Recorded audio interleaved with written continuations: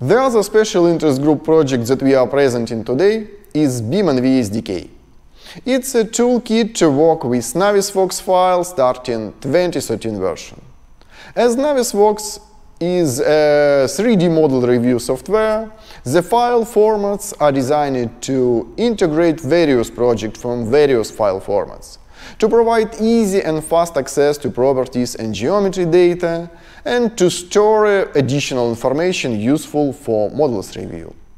ODA BimNv SDK supports a full range of formats native for Navisworks, such as NWF uh, with only references to original files, NWD that contains all data from original files internally, and NWC, a cache file with properties and geometry. Talking further, I'll focus more on NWD format as the most common one. To keep such different types of data, the file format uses a set of streams, and you can access data in those streams uh, using BimNv API. Some streams define the file structure, model, and scene. These are logical hierarchy, partitions, fragments, and other. Some streams contain model review information, for example, a clash stream. Some streams are used for visualization. These are geometry streams with faceted uh, geometry, streams uh, with background and lights data. Along with data access, Bim Toolkit provides geometry data processing to pass this data to Visualize SDK. And here you can see example of visualization in common ODA viewer application. Ivan Shulga, team lead of BimNv team, will present new features we added the last year and say some words about our plans. Thank you, Sergey, and hello all. First of all, I would like to tell you about our improvements. The first improvement is advanced lights and materials. Let's open file with old version of BimNv SDK from previous conference in Milan. Ah, here we can see there are some opaque and gray elements.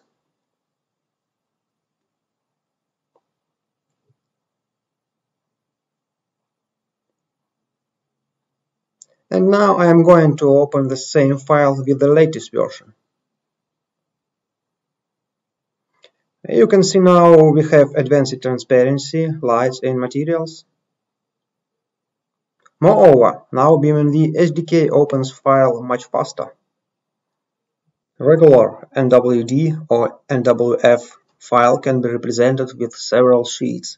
One sheet is a particular tree of models, and each sheet doesn't depend on each other. Now we support this feature. Each sheet here is a tab in the bottom of the window. For example, three sheets here, and we can switch between them. We took care about performance. We reworked file loading mechanism, and as a result we got more stable loading. Another important side of this refactoring was dramatic speedup of file loading in the single-thread mode. Now BimNv SDK loads files faster in from 2 to 20 times. The third advantage is now it consumes less memory up to 5 times depending on file. But we didn't stop on this point. We implemented multi-thread loading and got a speedup as well. This year we added support of new streams. I highlighted them on the slide. These are saved views element that contains different viewpoints with own camera settings and data like sections and red lines. And as you have guessed, clash element contains data about clash tests and clash test results. And it also simple to guess that lights element is a stream uh, with the settings of lights well, regarding common schemas and Xref table, we also provide data from these streams. We supported them to add the possibility to save NWF files. This slide shows how to visualize clash data in ODA Viewer. The first step is to open file which already has such data. From Tool menu item, I'm opening collision window And after clicking third-party collisions button, I can select clash test and get all the test results for this test. As you can see, after clicking on the test result, ODA viewer hides unimportant elements and zooms to the selected issue.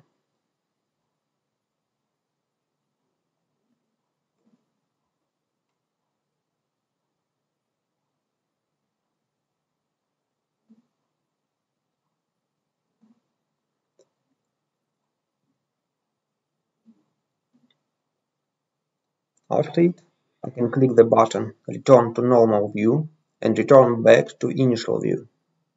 Next feature we supported is sections, also named cutting planes. Now I am opening a file with four sections.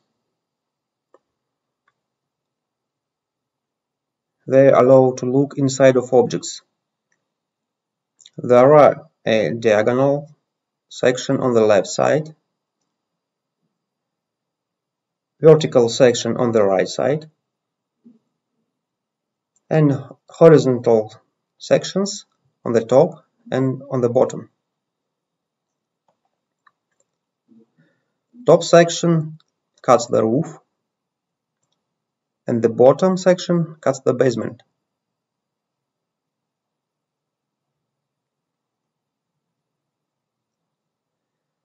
Now I'm changing left section.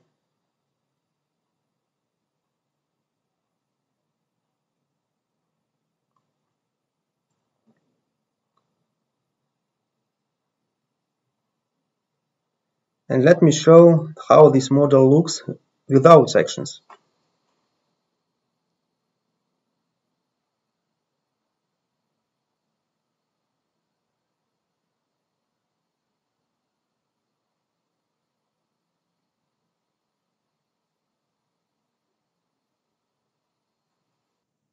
To show how to perform a painting of a new file to NWF, we need two source files, First is RVT file we want to append, and second is NWF file we want to append to.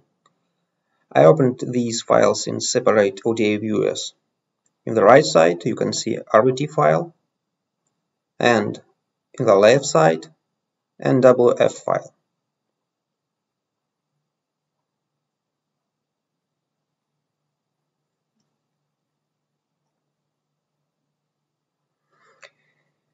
Uh, we can check NWF file has two root models in objects tree and I want, I want to append a new one.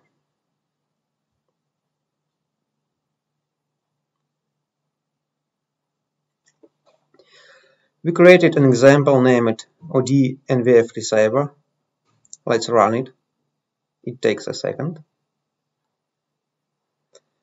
Well, and now I'm going to show you the result.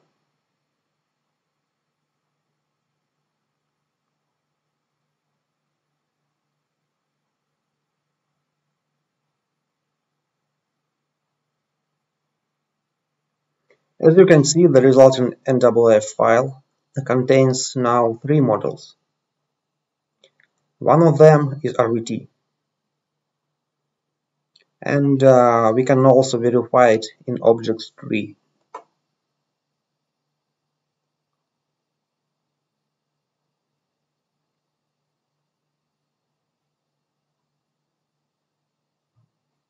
At this moment, we cannot append a file to NWD file, but we're going to implement this possibility till the end of this year. First version will save file to the flat model. For example, if input file have a lot of nodes, output file will have only one high-level node and a lot of geometry nodes. Well, I have told you about our current progress, and now I want to make some notes about future plans. We have three months to implement NWD writing. In this scope, we are going to create API for geometry appending. We plan to make possible the creation of geometry like points, text, lines, ellipses, cylinders, and shells. Also, we should create the plugin to convert Visualize database to NWD using Flat Object Scheme. And our next year plans include the module appending with full hierarchy. That's it. Thank you for your attention. Goodbye.